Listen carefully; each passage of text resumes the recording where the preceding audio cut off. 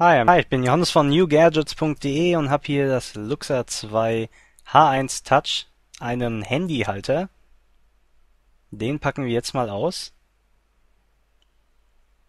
Der erinnert mich auch ein bisschen an einen iMac, ihr seht auch gleich warum.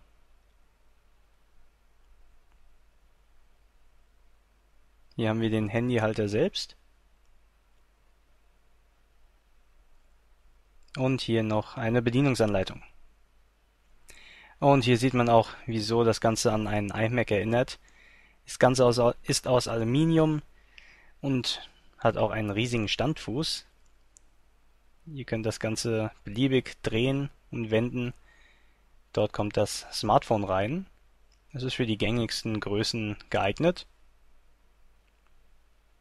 Hier haben wir beispielsweise ein HTC Mozart. Das passt da perfekt rein lässt sich dann beliebig drehen. Hier ein Samsung Wave S8500.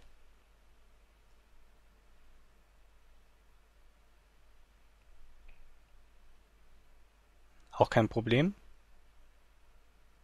Und natürlich das Apple iPhone.